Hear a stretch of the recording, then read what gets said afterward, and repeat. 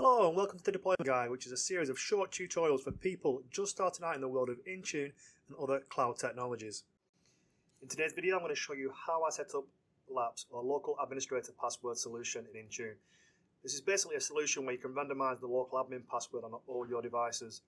In the past, I've seen networks where the local admin password is statically set to the same password on hundreds, if not thousands, of devices. Now imagine if somebody gains access to this password, they in theory have access to every single one of these devices. Randomizing and rotating the passwords certainly help prevent this. So to set this up, the first thing we need to do is go to Microsoft Azure through portal.azure.com.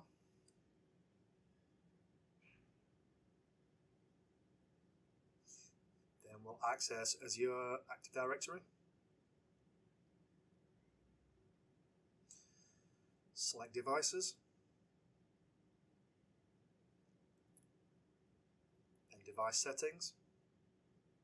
Scroll down, and we're going to turn on Enable Azure AD Local Admin Password Solution and select Save on that. Okay, so the next thing we're going to do is go to Microsoft Intune.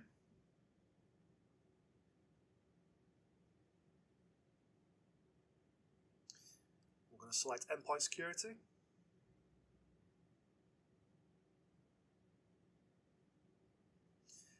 Then we're going to select Account Protection. We're going to create a new policy. Platform will be Windows 10 and later. Profile type will be local admin password solution. Select this and select create. We'll give it a name, Windows LAPS Policy. Select next. The backup directory we're going to use is backup the password to Azure AD only. Password age will leave as the default. The administrator account will leave as the default, but if you've got a predefined admin account already set up, you can type it in here. We haven't, so we'll use the default admin account. Password complexity will leave as the default.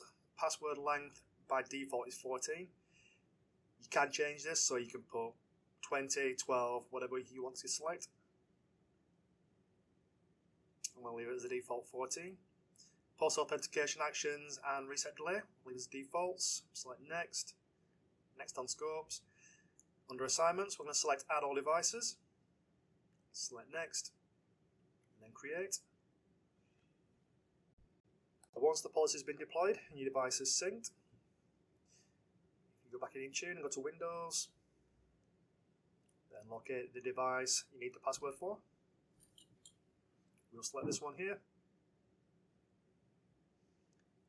Go to local admin password on the left hand side.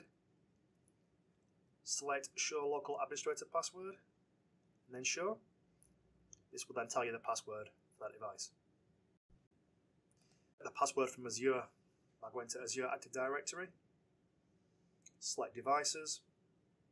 Selecting local administrator password recovery. Now in here typically you would have a list of devices. In my tenant I've only got one. So we'll select show local administrator password and then show. And again, there you are, there's the password. I hope today's video has been useful, and as you can see, LAPS was pretty straightforward to set up.